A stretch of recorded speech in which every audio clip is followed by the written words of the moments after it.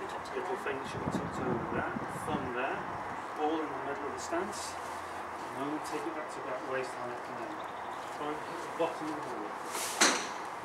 Don't worry. Oh dear.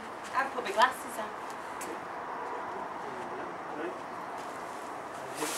Just try and imagine you hitting under the ball. And trying to hit the top.